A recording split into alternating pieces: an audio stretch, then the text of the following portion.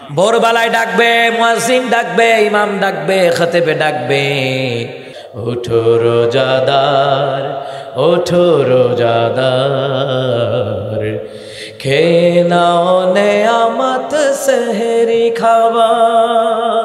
সুবহানাল্লাহ বলেন আল্লাহ নবী বললেন, রমাদান মাস, এই রমাদান কারিম মাস হলো। নেক আমলের নেক আমল উৎপাদনের মাস, ফসল উৎপাদনের মাস। সুবান আল্লাহ বলবেন না। এই জন্য আল্লাহ তাআলা বললেন, বিসমিল্লাহির রহমানির রহিম। ইয়া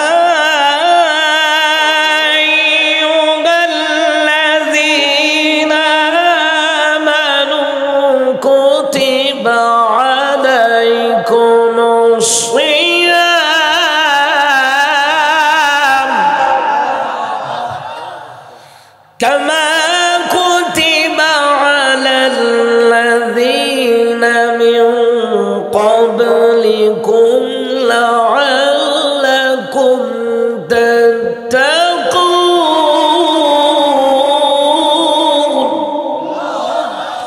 আল্লাহ তাআলা বললেন হ্যাঁ ইমামদারগণ তোমরা আল্লাহ তাআলা বললেন হ্যাঁ ইমামদারগণ তোমাদের উপরে রমজানের রোজাকে আমি আল্লাহ ফরজ করে দিয়েছি।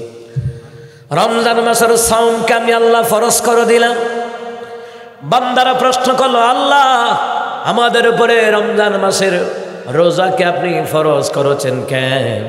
আল্লাহ তারা বললেন, তোমাদের পূর্ববর্তীদের উপরে এই রোজা ফরজ করা হয়েছিল। সুবাহান আল্লাহ বলেন। এই জন্য আমি আল্লাহ তোমাদের উপর রমজানের রোজা ফরজ করে দিলাম। আমরা বান্দারা প্রশ্ন যদি করি, আল্লাহ, পূর্ববর্তীদের উপরে রোজা দিয়েছেন, আমাদের উপরে দিলেন কেন? আল্লাহ তারা বললেন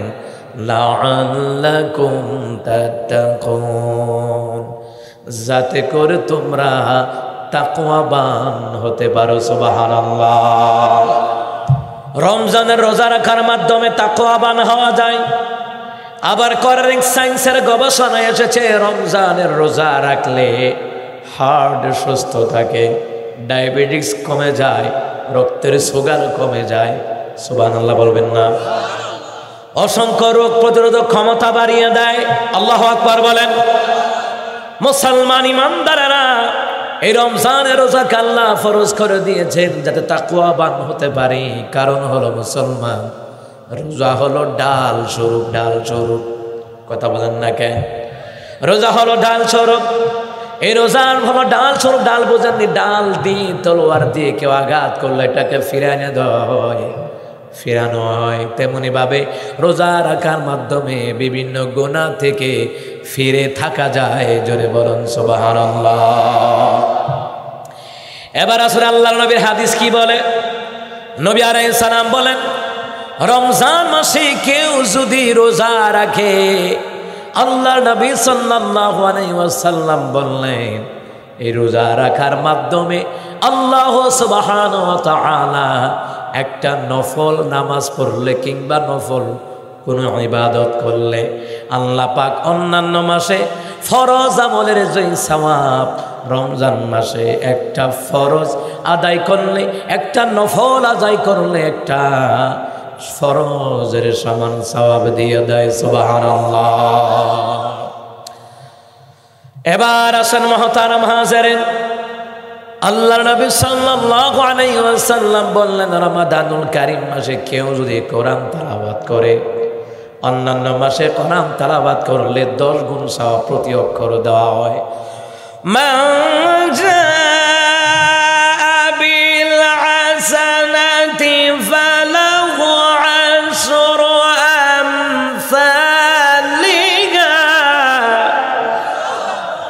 আল্লাহ বললেন, আল্লাহ তাআলা বলেন যখন কেউ একটা মাত্র নেক আমল করে, একটা সওয়াবের কাজ করে, আল্লাহ সুবহান তার আমল নামায় দশ গুণ সওয়াব দিয়ে দেয়।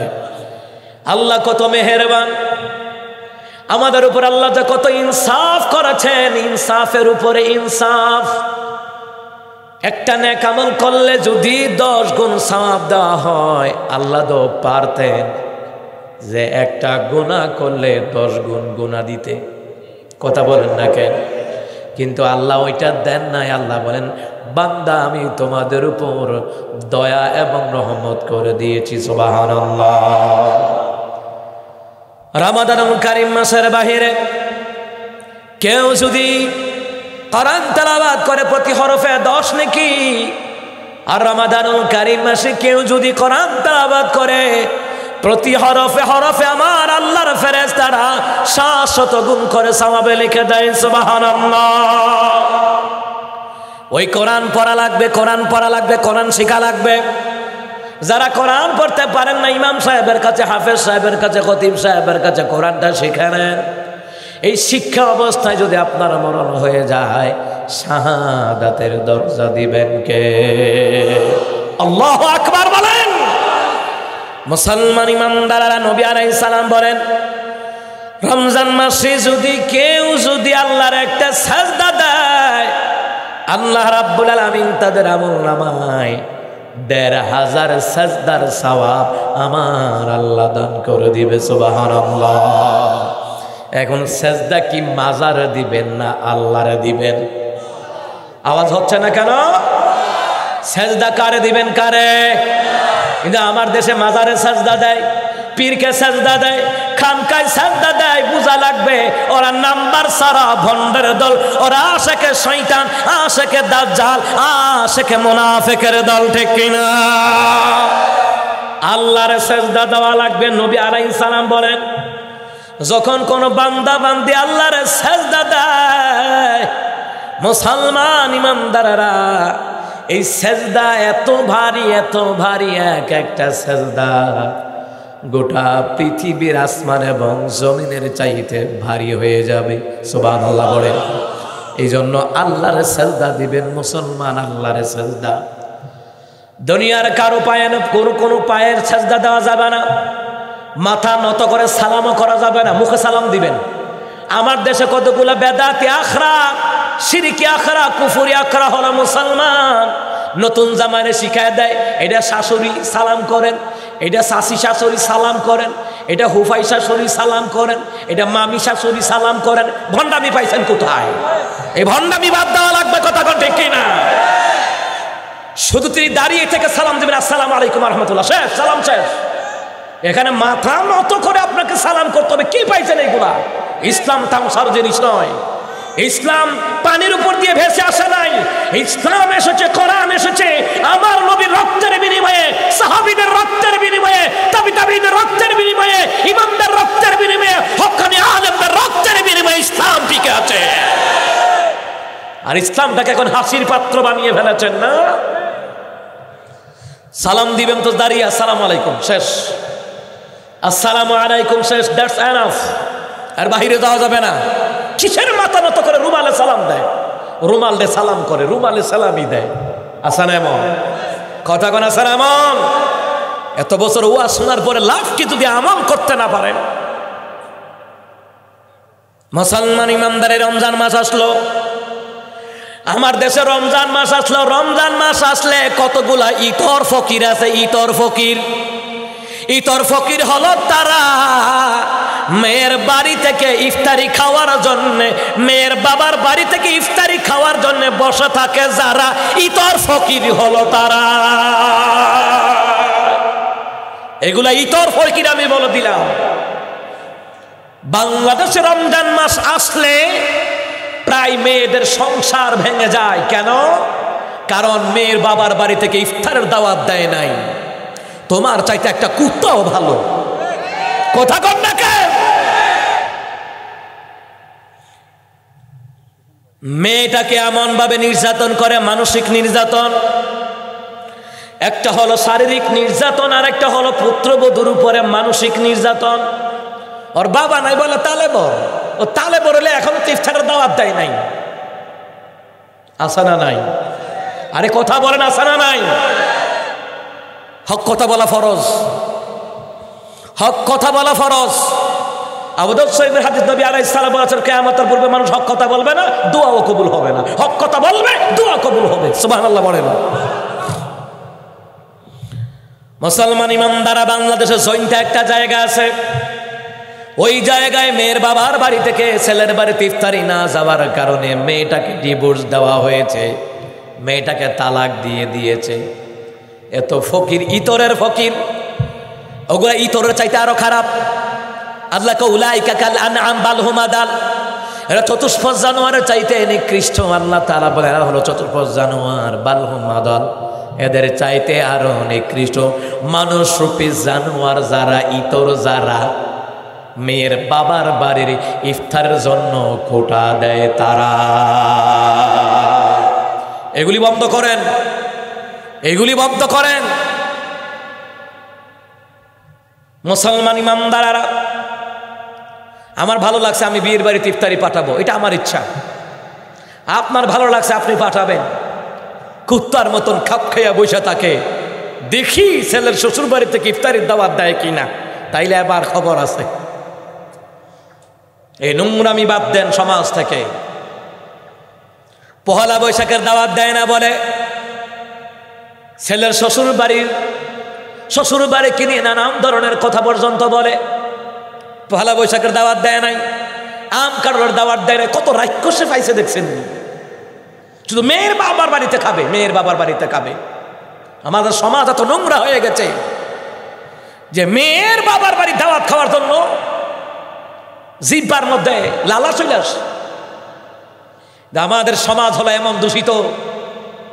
মেয়ের শ্বশুর বাড়ি থেকে লুক আসলে দেশি মোরো খাসি, মুরগির কলিজা রুই মাছ কোনটা কোনটা দরকার?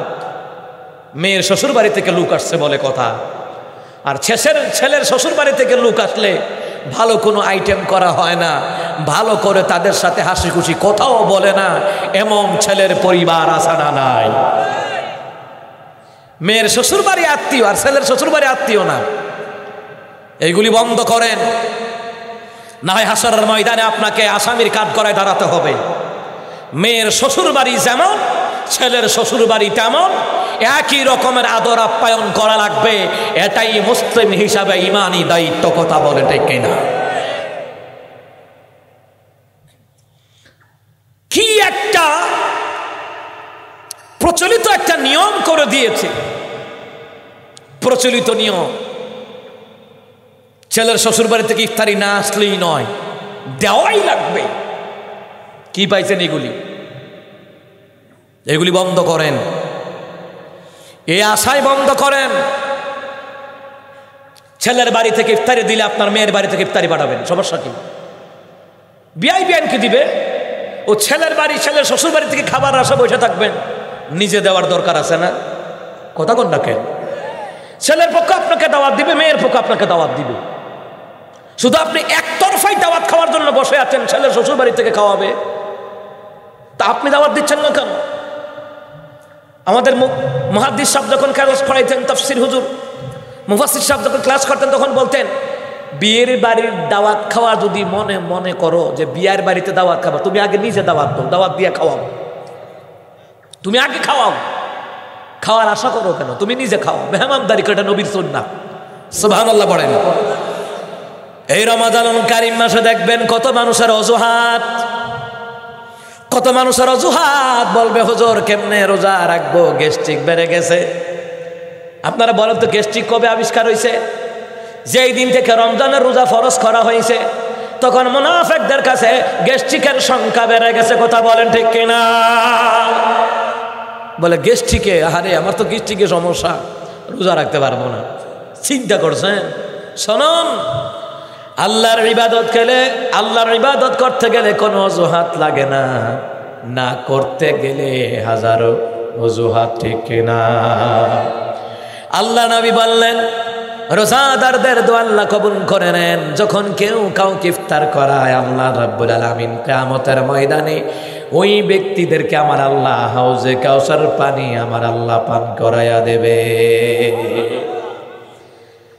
মুসলমান ইমানদারি রমজান মাস, আত্মসংযমের মাস, রমজান মাস পাপ থেকে দূরে দূরে সরের মাস।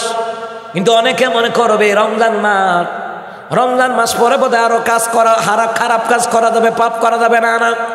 রমজান মাস হলো আত্মশুদ্ধির মাস। এই চোখেরও রোজা আছে চোখ দিয়ে খারাপ জিনিসের দিকে তাকানো যাবে না। এই মুখেরও রোজা আছে, মুখের রোজা হলো সুদ খাওয়া যাবে না, ঘুষ খাওয়া যাবে না। কানেরও রোজা আছে, কানের রোজা হলো গান, বাজনা শোনা যাবে না, আউল ফাউল ভান্ডারি আর বাউল গান শোনা যাবে না, ঠিক কিনা? এই কানেরও রোজা আছে, এই পায়েরও রোজা আছে, পা দিয়ে খারাপ কাজের দিকে অগ্রসর হওয়া যাবে না। হাত দিয়ে খারাপ কাজে, খারাপ কাজ করা যাবে না, ধরা যাবে না, মদ গাজা ইয়াবা ধরাও যাবে না, খাওয়াও যাবে। কিন্তু আমার দেশে মদ গাজার লাইসেন্সও দিয়ে দেয়। এগুলা আশেক নামে মোনাফেকের দল, এগুলা দাজ্জালের দল। ওরা মুসলমানদের ইমানকে মদ সেবন করিয়ে মুসলমানদের ছেলে মেয়েদের চরিত্রকে নষ্ট করতে চায়, ঘরে ঘরে ঐশীর মতন খনি তৈরি করতে চায়, ঠিক না মুসলমান ইমানদারারা, এই রমাদান কারিম মাস হলো বরকতময় মাস না জাতের মাস, মাগফেরাতের মাস। মুসলমান ইমানদারেরা এ রমাদানুল কারিম মাসে বেশি বেশি করে। কোরআন তালাবাদ করবেন, নামাজ পড়বেন, জিকিরি করবেন, তসবি পড়বেন। দান শতকার মাত্রা আপনি বাড়ায়া দিবেন মুসলমান ইমানদারেরা। নবী আলাই সালাম বলেন, এই রমজান মাসের রোজাকে যারা হেফাজত করবে, রোজা রাখবে, রোজা পালন করবে আল্লাহ নবী বললেন, রাইয়া নামক একটা দরজা আছে, বুখারি মুসলিমের হাদিস। সালাম বলেন রাইয়া নামক একটা দরজা আছে, ওই দরজাটাকে খুলে দেওয়া হবে। ওই দরজা দিয়া, ওই দরজা দিয়ে একমাত্র তারাই ঢুকতে পারবে, যারা হলো একমাত্র রোজাদার। সুবাহ পড়েন যারা রমজানের রোজাকে পালন করেছিল, রাইয়ান নামক দরজা দিয়ে আল্লাহ তাদেরকে জান্নাতে ঢোকাবেন। একটু পরেই জান্নাতের দরজা, রাইয়ান নামক দরজাটা বন্ধ হয়ে যাবে। আর অধিকাংশ লোকগুলি গিয়ে ওই জায়গায় ভিড় জমাবে। লোকগুলা ভিড় জমাবে কি হে দরজা বন্ধ করলে কেন আমরা তো ঢুকবো? ফেরেস্তারা বলবে, না না, এই দরজা দিয়ে ঢুকা যাবে না। তোমরা কি রোজা রেখেছিলে দুনিয়াই বলে না। তাহলে রোজাটা তো রাখো নাই। এই দরজাটা হলো একমাত্র, কেবলমাত্র দুনিয়ার রোজাদার বান্দা বান্দিদের জন্য। জোরে কন সবাহান মুসলমান ইমামদার আর আল্লাহ তারা এই জন্য রমজানের রোজাকে ফরজ করে দিয়েছি, কারণ হলো এই রমজানের রোজা রাখার মাধ্যমে তোমরা তাকোয়াবান হয়ে যাবা, ফরহেজগারি হয়ে যাবা, আল্লাহ ভীরু হয়ে যাবা, কারণ হলো ফরহেজগারি হলে আমরা যখন বললাম, আল্লাহ, রোজা রাখার মাধ্যমে ফরহেজগারি হব। আল্লাহ আপনারাই বলেন তো, রোজা রাখার মধ্য দিয়া কি সুদ খাওয়া যায় নাকি, ঘুষ খাওয়া যায় নাকি? এটা কি শুধু রমজান মাসেই না রমজান মাস সারা? রমজান মাস ছাড়াও আজীবনের জন্য সুদ হারাম, ঘুষ হারাম, যৌতুক খাওয়া হারাম, দুর্নীতি করা হারাম, ভাইয়ের জায়গা, বোনের জায়গা দখল করা হারাম, পরের টাকা লুণ্ঠন করে খাওয়া হারাম, প্রবাসীদের টাকা মেরে খাওয়া হারাম। কথা বলেন না কেন? এই রমজান মাসে মিথ্যা কথাও বলা যাবে না।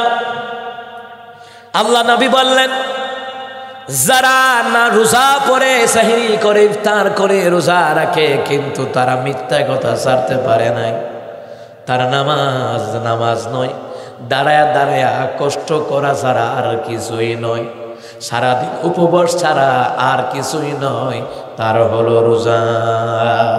রোজা রাখার পরও যারা মিথ্যে কথা ছাড়তে পারে নাই, খারাপ কর্ম ছাড়তে পারে নাই, এদের দাঁড়িয়ে থাকা কষ্ট ছাড়া আর কিছুই নয়।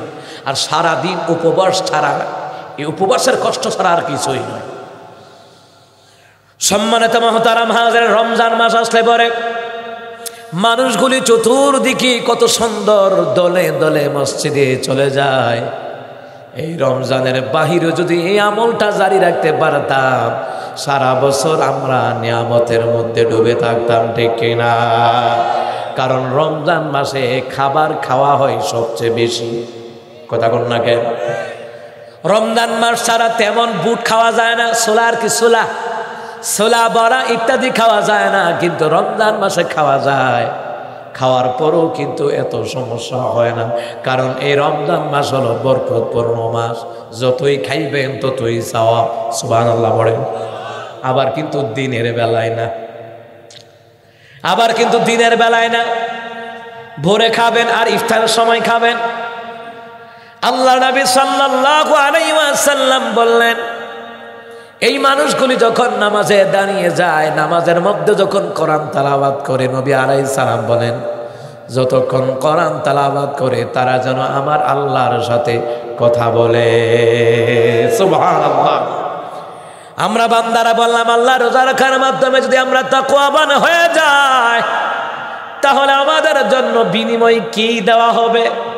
আল্লাহ তারা বললেন সোনারাও তোমাদের জন্য বিনিময় দেওয়া হবে। আল্লাহ তারা সোরা আলে মরণের মধ্যে জানিয়ে দিলেন ওয়াসারিও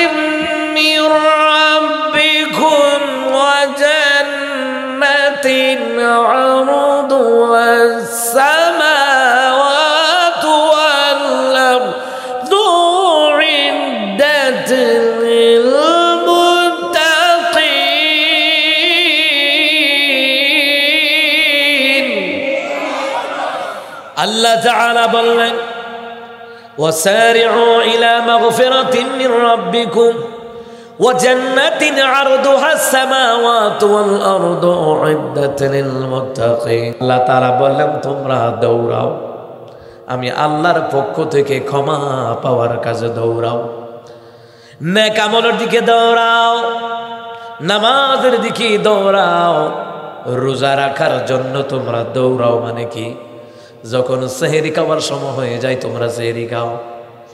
যখন আজান দেওয়া হয়, নামাজের দিকে দৌড়াও। সোবান আল্লাহ পড়বেন না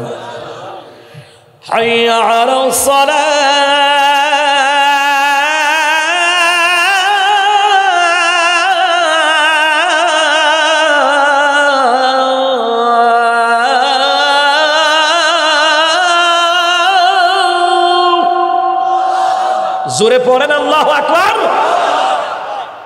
হাইয়া আলা সালা, নামাজে আসো, নামাজে দৌড়াও, নামাজে আসো।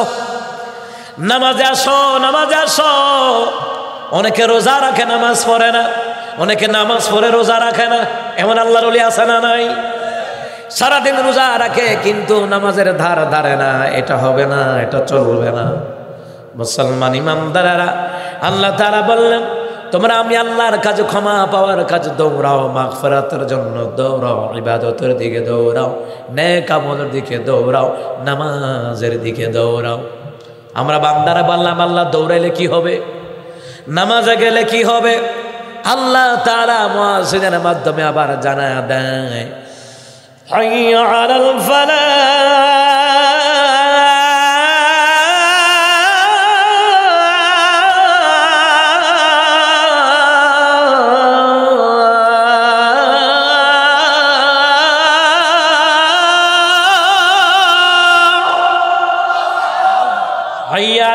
আল্লাহ কয়, তোমাদের জন্য কল্যাণ আছে, কল্যাণ। দুনিয়াতে কল্যাণ, আখারাতে কল্যাণ।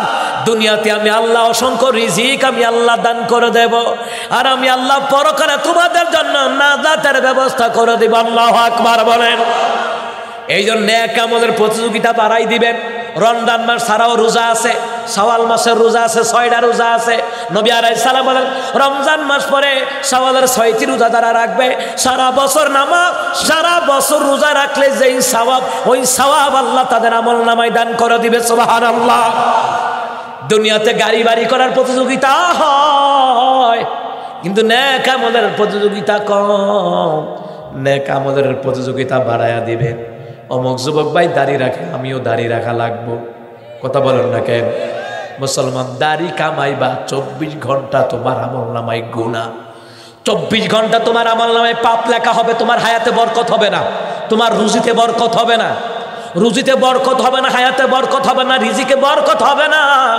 তুমি নেক আমলের মাত্রা বাড়ায় দাও, প্রতিযোগিতা করো। অমুক ভাই দাঁড়িয়ে রাখে, আমিও রাখব। অমুক ভাই নামাজ পড়ে, আমিও পড়ব। অমুক ভাই দান করে, আমিও দান করব। কথা বলেন না কান? আল্লাহ বলেন, রোজা রাখো রোজা, নামাজ পড়ো নামাজ। কোরআন তালাবাদ করো। আমি তো কোরআন পড়তে পারি না। অমুক ভাই কোরআন পড়তে পারে, আমি তো পড়তে পারি না। ঠিক আছে, আমার ভাইয়ের কাছে একটু বসি। বৈশা বৈশা, কোরআন তালাবাদটুকু শুনি। আমি যখন কোরআন তালাবাদ করি, অনেক মুসল্লিরা এসে আমার পাশে এসে বসে থাকে। আল্লাহ পড়েন। আমি বললাম, ভাই, বলে, হজর মাইন্ড করেন না। আমি কই, না মাইন্ডের কি আছে? আপনি বসছেন তো আমার ভালো লাগতেছে। বলে, হজর, আমরা তো কোরআন পড়তে পারি না। তখন আমি বললাম, শোনেন, নবী আলাই সালাম বললেন, যেই ব্যক্তি কোরআন তালাবাদ করে, আর মানুষই যদি শোনে, মনোযোগ সহকারে তেলাওয়াত করে, যেই সওয়াব পাওয়া যাবে, শুনে শুনে তার আমল নামায় ওই সওয়াব দিয়ে দিবেন কে? আল্লাহ একবার বলেন। আপনার মোবাইলে গান থাকবে কেন? আমি বলব আপনার ইমানে দুর্বলতা আছে। যার মধ্যে বিন্দু মাত্র ইমান থাকবে, বিন্দু মাত্র সে কখনো তার মোবাইলে গান, বাজনা রাখবে না। আর যার মধ্যে ইমানের ভেজাল আছে, ওরা গান, বাজনার আঞ্জাম দেয়, গান, বাজনা করে। কথা বলেন না কেন? আমি বলব যদি আপনার বিন্দু মাত্র ইমান থেকে, আপনার মোবাইলে গান থাকবে না, কোরআন তালাবাদ থাকবে। হকানি আলমদের তাফসির থাকবে। হামদে বাড়ি তালা থাকবে না তার আসল থাকবে, কথা বলেন ঠিক কিনা? মুসলমান ইমামদারারা, নবী আলাইসালাম সুন্দর করে জানা দিল কোরআন পড়তে পারো না, যে পড়তে পারে তার কাছে গিয়ে তুমি কোরআন শোনো। সুবহানাল্লাহ বলবেন না।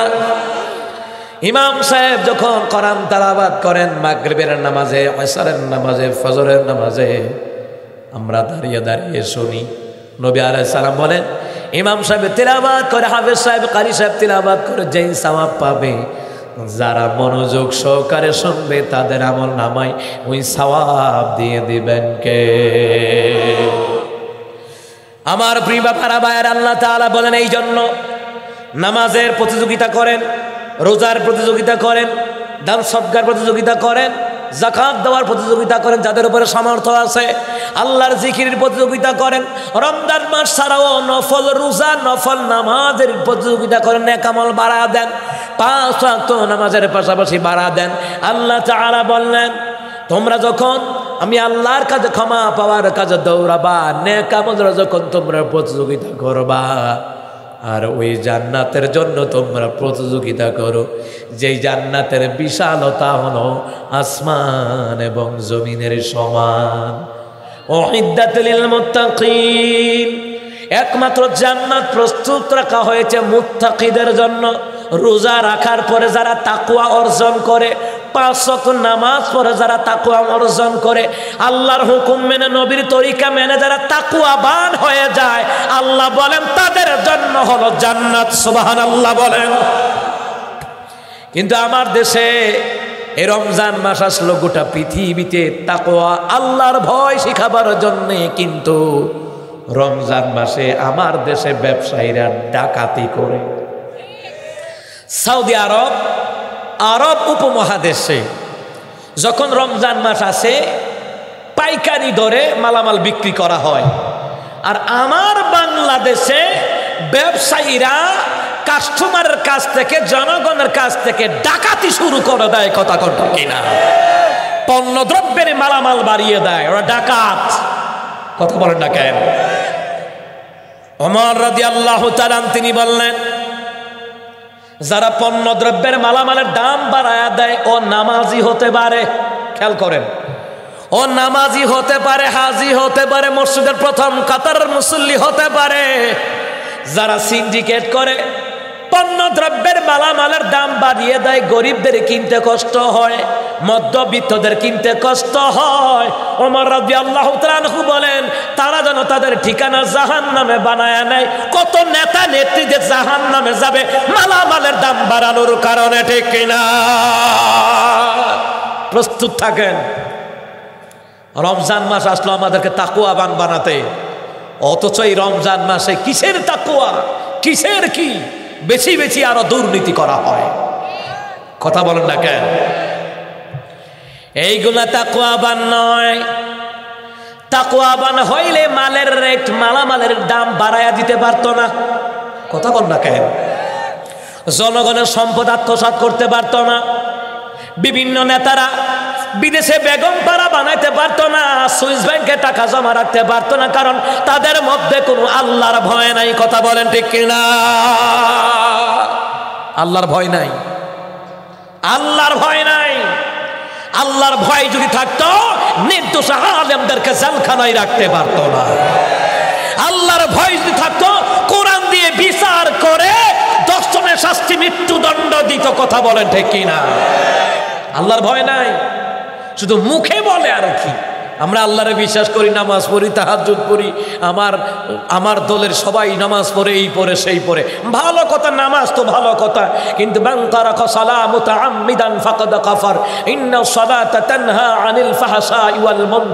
নিশ্চয়ই নামাজ অশ্লীল বাহাপানা ব্যবিচারী কাজ থেকে বিরত রাখে। দুর্নীতি বলেন, খারাপ কাজ বলেন সব থেকে বিরত রাখে। কিন্তু যারা নামাজ পড়ার পরও নির্দোষ আলেমদেরকে ধর্ষণের মামলা দেয়, মিথ্যা মামলা দেয়, ফাঁসির কাজটা নেয় জেলখানায় নেয়, বুঝা লাগবে ওদের মধ্যে আল্লাহর ভয় নাই। ওদের মধ্যে আবুজাল সাইবা অথবা ওয়ালিদ ইবনে মহিরার রক্ত রয়েছে, কথা বলে ঠিক কিনা? আল্লাহর ভয় থাকলে নির্দোষ আলেমদেরকে জেলখানায় রাখতো না। আজ গোটা পৃথিবীতে জেলখানা হলো আল্লাহওয়ালাদের জন্য। কথা কন না কেন? জেলখানা হলো মনে হয় আল্লাহওয়ালাদের জন্য। আর দুটা দুনিয়াটা তাদের জন্য, জালিমদের জন্য। স্বৈরাচারীদের জন্য গোটা দুনিয়াটা হলো মনে হয় জান্নাত। লুইটটা পরে যতদিন পারি ততদিন খাও খাও। ফেরাউনও টিকতে পারে নাই। নমরু টিকতে পারে নাই, কারণ হামান টিকতে পারে নাই, আবু জালি সাইবা অকবা টিকতে পারে না, গোটা পৃথিবীর জালেমরাও টিকতে পারবে না, কথা বলে ঠিক কিনা? মুসলমান ইমানদা আল্লাহর ভয় আল্লাহর ভয়। পাপ করার একমাত্র মাধ্যম হলো আল্লাহর ভয় না থাকা। আল্লাহর ভয় না থাকলে জোর জুলুম করতে কোনো বাধা থাকে না। আলেমদেরকে গালি দিতে, মিথ্যা মামলা দিতে কোনো সমস্যা হয় না। কারণ মূল হলো আল্লাহর ভয় হৃদয়ের মধ্যে নাই, ঠিক কিনা? যাদের হৃদয়ে আছে আল্লাহর ভয়, তারা কভু পথ ভুলে যায় না। আল্লাহর প্রেম ছাড়া এই দুনিয়ায় কারও কাছে কোনো কিছু চায় না। কারও কাছে কোনো কিছু চায় না। রাতের আধারে যারা সেজ দাতে রয়, দু চোখের স্রোতে নদী যেন বয়। রাতের আধারে যারা সেজ দাতে রয়, দু চোখের স্রোতে নদী যেন বয়। ছলনার হাত ছানি যত আসুক না, পেছনে ফিরেও তাকায় না।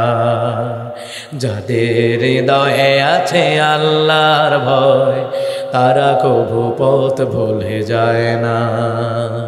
আল্লাহর প্রেম ছাড়া এই দুনিয়ায় কারও কাছে কোনো কিছু চায় না। কারও কাছে কোনো কিছু চায় না। সুবাহান আল্লাহ বলতে ইচ্ছা করে না? জোরে আওয়াজ দিয়ে পড়েন সুবাহান আল্লাহ